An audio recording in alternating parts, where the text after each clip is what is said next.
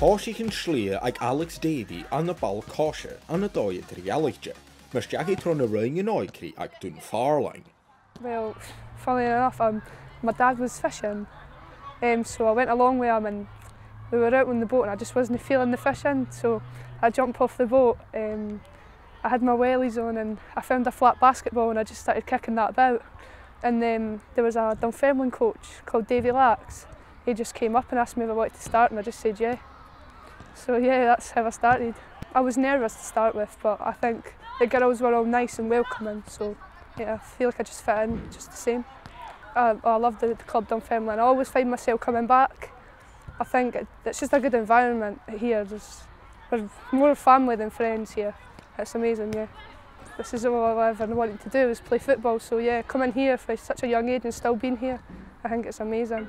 Cai an Jones skippen an bannaig dún farlain a bí mas do háisií het a dhíis fó stúr Angie Comrie.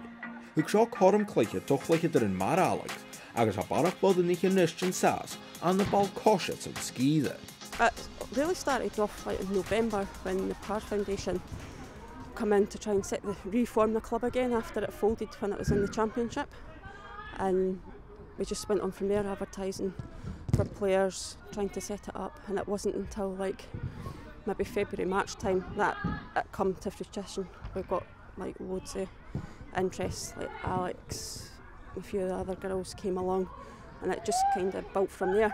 And then two weeks before the league started we managed to get in. So it was all kind of a rush. We'd only played one training session and then played one friendly and that was it. And then it was bang right into the league so we're all under one club the Pars Foundation's all under one club now so it'll incorporate the East End boys and the, all the girls and we've got one big pathway as well from the wee ones all the way up to the uh, ladies.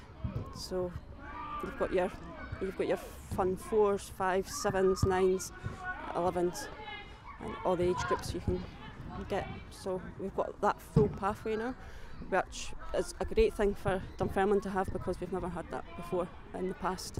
So we've got players coming up from the 18s next season. We've got potentially six of them coming up.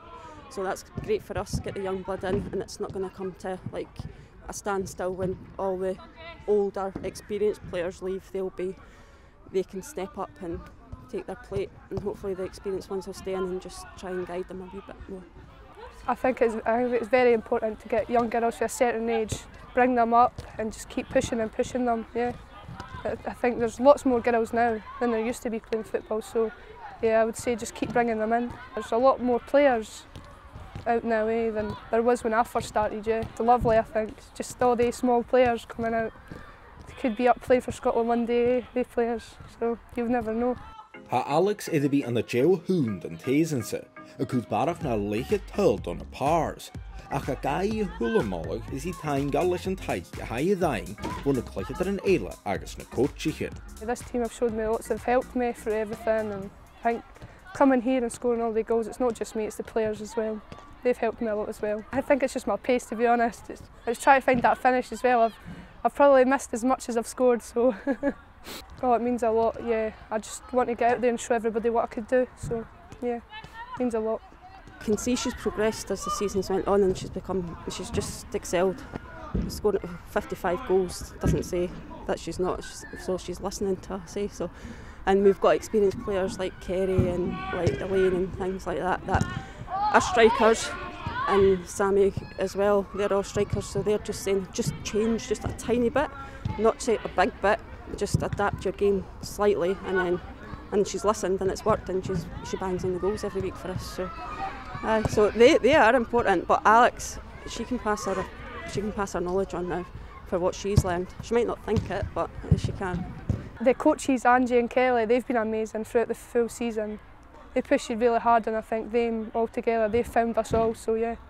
Credit to them for finding all of us. Farling le mar ar son a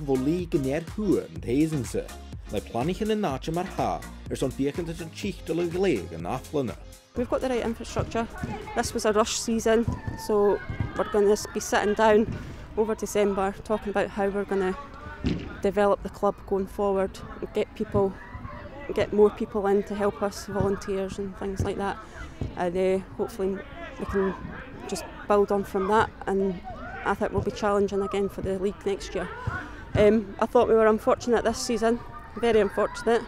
Um, if we weren't so rushed and the players had knew each other before the season started, then I thought I think we would have been up there, race five.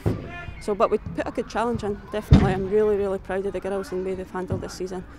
They've just they've got that never say die attitude, and hopefully they can carry that. I know they will carry that on till, for next season. We just came in, we're a brand new team, so we've not been a big team for long, but I think well, how far we've came, it's amazing how far we've came, yeah. We want to reach that top, so yeah, getting to the top would be amazing with this team, yeah, getting to the top, definitely. Just go for it, try our hardest and get up there.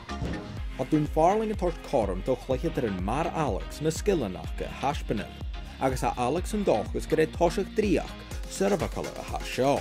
When the formed and she come and she's just she's just stuck in. She's she's loving it and you can see the smile on her face when she's training and in games and things like that.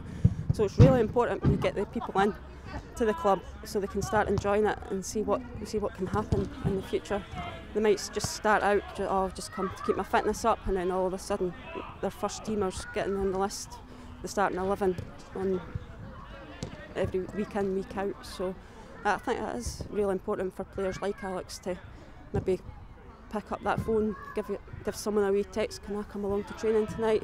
We'll never turn anyone down, so we'll just we'll, we'll do our best to help everyone, the older ones help the younger ones and vice versa. So yeah, that is, that is important. For the future I'd like to maybe maybe play up higher than I am right now. Maybe one day a bigger club in Premier League or something like that, yeah. Oh, it would mean a lot. It would mean a lot, yeah. That's all I've ever wanted to do is reach that very, very top place. So yeah, it would mean quite a lot. So just need to keep trying and trying to get up there and maybe it'll happen one day.